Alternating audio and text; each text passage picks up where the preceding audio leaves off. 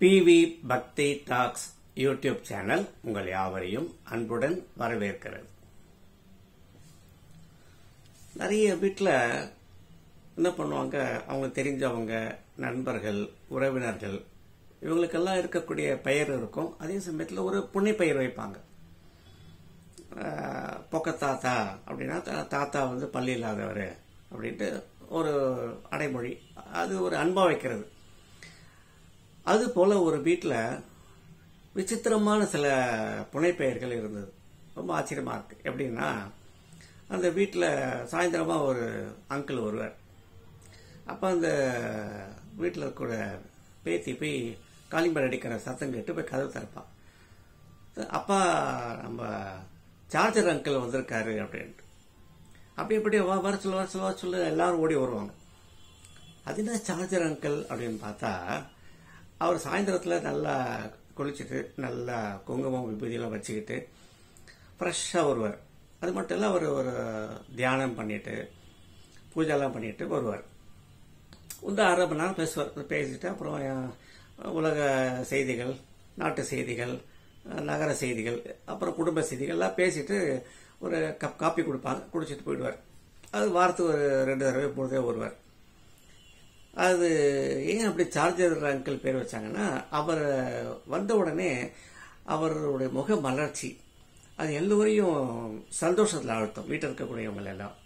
அது மட்டும் இல்லாமல் அவர் வந்து எதுவுமே ஒரு குறை பார்த்து பேசக்கூடிய நபர் அல்ல. எப்பவுமே வந்து எல்லாமே ஒரு பாசிட்டிவ் ஆட்டிடியூட் சொல்லும் இல்லையா? அந்த ஒரு பாசிட்டிவ் ஆட்டிடியூட் தான் பேசுவார். என்ன? பேத்தி பார்த்து கேட்பார். என்ன மார்க் இங்கே இருக்க மேத்ஸில் அப்படின்ட்டு. அங்கிள் எனக்கு நாற்பத்தெட்டு மார்க் தான் கிடச்சி இன்னைக்கு எக்ஸாம்பிள் அப்படின்னு. அவ்வளோதானே நாளைக்கு நாற்பத்தொம்பது வாங்கிடு அடுத்த வாரம். அதுக்கு அடுத்த வாரம் ஐம்பது வாங்கு அவ்வளோதான் எறிகிட்டப்போ பி ஹாப்பி அப்படின்னு சொல்லுவார். அதுதான் அந்த பேத்தியை உற்சாகப்படுத்தி அந்த பேத்தி வச்ச பேர் தான் சார்ஜர் அங்கிள் அப்படின்ட்டு. எதுக்குன்னா நம்ம செல் மொபைல் மொபைல் இருக்குது நம்ம மொபைல் அப்படியே வச்சிருப்போமா? அதனுடைய பேட்டரி அப்படியே தீர்ந்து பேட்டரி ஸ்லோ அப்படின்னு ஒரு மெசேஜ் வரும். வந்த உடனே என்ன பண்ணுவோம்? சார்ஜர் பண்ணுவோம். சார்ஜ் பண்ண உடனே மறுபடியும் அந்த மொபைலுக்கு எல்லா விதமான சக்தியும் வந்துடுது நம்ம வாட்ஸ்அப் பண்ணுறதோ மெசேஜ் வைக்கிறதோ ஃபோன் பண்ணுறதோ இல்லை ஜூமில் பேசுகிறதோ எல்லாத்துக்கும் அந்த சக்தி கிடைக்குது. அதுபோல் அந்த குடும்பத்து உறுப்பினர்கள் எல்லோருக்கும் அவரை பார்த்தாலே ஒரு சார்ஜர் அப்போ அவங்களுக்கு ஒரு உற்சாகம் ஏற்படுது. அந்த உற்சாகத்தோடு அவங்க வந்து அன்றைய நாளை கழிப்பார்கள். அதே மாதிரி இன்னொரு நாள் ஒரு காலிங் பெல் சத்தம் கேட்குது இந்த பேத்தி போய் கதவு திறக்கிறா. திறந்தோடனே சொல்ற அப்பா பவர் பேங்க் வந்திருக்கு அப்படின்ட்டு. என்ன நம்ம கேட்டிருக்கோம்? ஏதோ ஆக்சிஸ் பேங்க் கேள்விப்பட்டிருப்போம். இல்லைன்னா ஐஓபின்னு கேள்விப்பட்டிருப்போம். இது என்ன பவர் பேங்க் வந்திருக்கு? இந்த பவர் பேங்க்ல செக் புக் வந்திருக்கா? அப்படின்னு நம்ம யோசிப்போம். கிடையாது. அந்த வார்த்தை சொன்ன உடனே அந்த குடும்பத்தில் எல்லாரும் ஓடி வருவாங்க. ஏன்னா அவர் ஒரு இனிய நண்பர். அவர் வந்தாலே எல்லாருமே சார்ஜ் ஆயிடுவாங்க.